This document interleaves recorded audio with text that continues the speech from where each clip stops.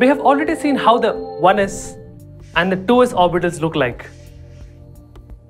In this video, let us take a look at the shapes of other orbitals like p orbitals as well as d orbitals. To start with, let us bring in a table which describes the different quantum numbers. Straight away, observe the 2p orbital where n equals 2 and l equals 1. The three different ml values suggest that there are three different orientations for any orbital or the orbitals within the p subshell. As you can see, the different values of ml, they suggest that there are three different orbitals each having a different orientation.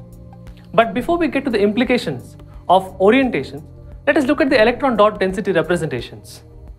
As you can see, unlike an s orbital, p orbitals are not spherically symmetrical.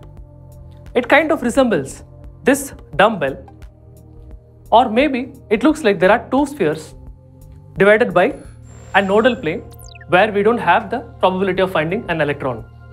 If we draw a 90% contour for this one, then we get this region. And this is the plane which bisects the lobes on either side and this is called the nodal plane. For a brief moment, let us bring back the table. The three possible values of ML implies that there are three possible orientations and thus there are three different orbitals in the 2p subshell.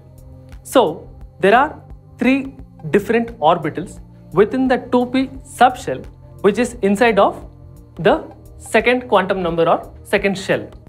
So the three different orbitals, they are the px, py and the pz orbital. If you look at the px orbital, it is oriented along the x-axis while the py is oriented along the y-axis. And no prizes for guessing. The pz orbital is oriented along the z-axis. Each of these is a separate wave function or atomic orbital. And don't forget, each of these will have a unique combination as in n, l, m.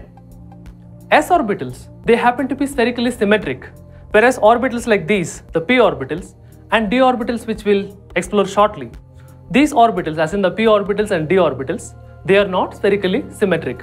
And hence, orientation comes into picture and it makes sense for these subshells as in the NP subshells or ND subshells to have different orientations.